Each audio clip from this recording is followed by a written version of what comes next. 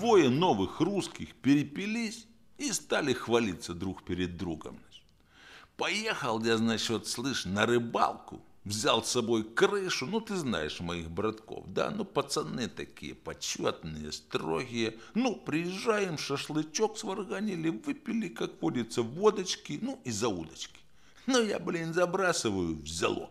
Я давай тащить не могу. Братва ко мне на помощь. Ну, ты знаешь моих братков. Сильные ребят. Ну, ни в чем, значит, не отказывают, не тянут, тянут, тянули целый час, и не поверишь, вот такого осетра вытащили. На 8 метров. Но ты гонишь. Ну, я за базар отвечу. Я сам измерял, братва измеряла. 8 метров в натуре. Ну, братила, ты гонишь, слышь? Осетры самое больше – больше пяти метров не тянут. Я сам читал, понял? Урежь осетра, урежь. Да не, ну в натуре я за базар отвечаю. Хочешь стрелку забьем? Ну ладно, ладно. Вот давай я тебе расскажу. Я пошел недавно тут на охоту, взял с собой канадскую помповушку, ну ты знаешь, бьет на повал. Иду по лесу, слышу, кусты трещат. Ну, оборачиваюсь, там морда лосиная высовывается, здоровый. Я ему в лобешник, бах-бах, он прямо с копыт, бах, свалился. Ну, значит, думаю, ништяк, лося завалил.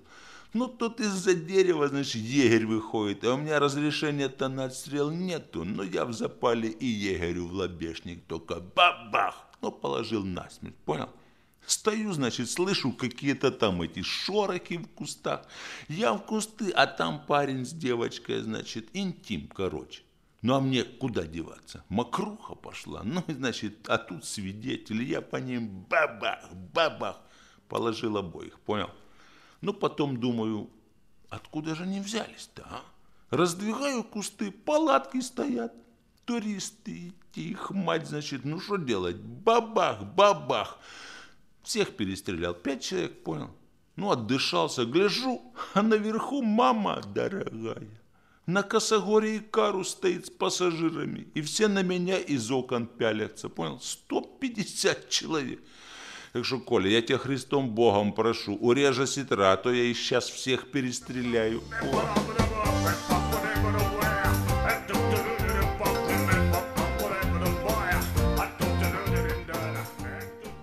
В ресторане двое новых русских заказывают, значит, себе ужин. Так, нам вот маринованные уши слона с гарнирами с гречки. Понял? Официант спрашивает, а слон африканский или индийский? Ну так, мы вроде бы африканского уже ели, да? А, да вроде африканского, говорит другой. Значит так, братан, давай уши от индийского слона с гречкой, понял? Ну, официант записал заказ и исчез. А через полчаса появляется и говорит, к сожалению, мы не можем выполнить ваш заказ, ребят. А что такое? Вот гречку не можем найти.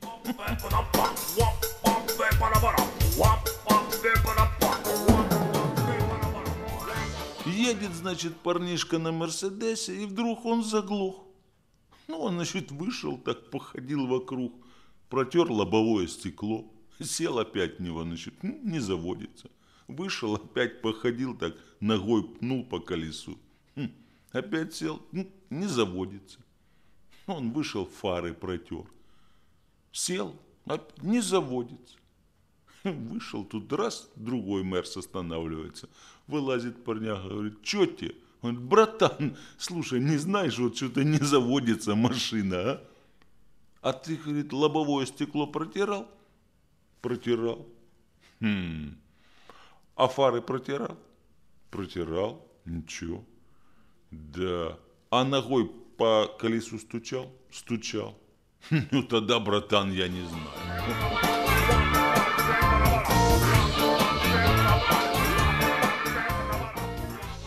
Опять же на светофоре, значит, в задницу Мерседесу въезжает Запорожец. Ну, из Мерса выходит здоровый хлопчик такой, подходит, говорит, да, мужик, ну и попал ты, тут ремонту не меньше, чем штук на 5 баксов. А мужичок из Запорожца открывает лопатник, отсчитывает 5 штук баксов и дает этому хлопчику. А тут говорит, мужик, а откуда у тебя такие деньги? А мужичок говорит, а я кроликов развожу. А у них откуда?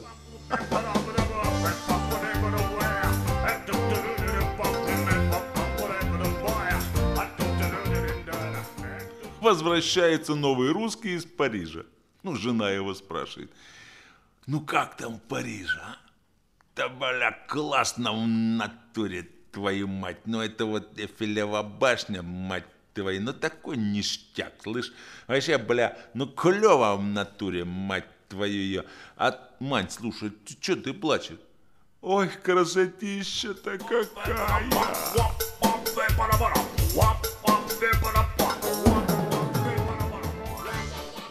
В ювелирный магазин заходит новый русский.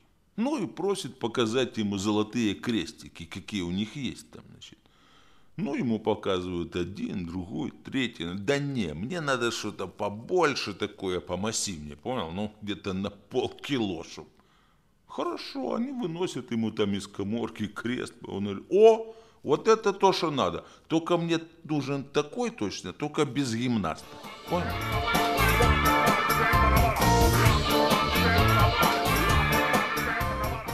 В автосервис приезжает новый русский. Ну и говорит, ребятки, хочу на свой Мерседес прибамбасом всяких наставить да навесить. Да нет проблем, вот прайс наших услуг, выбирайте и пишите заказ. Но через какое-то время бригадир, значит, подходит, берет у него лист заказа, ну и читает там, ага, так, вот это мы поставим, вот это тоже поставим, а вот это что это за обруч для головы? Такого у нас в прескуранте нету. Ну, это понимаешь, братан, я сам придумал. Вот так, когда цеп у меня сильно голову оттягивает, то надо ж поддержать как-то.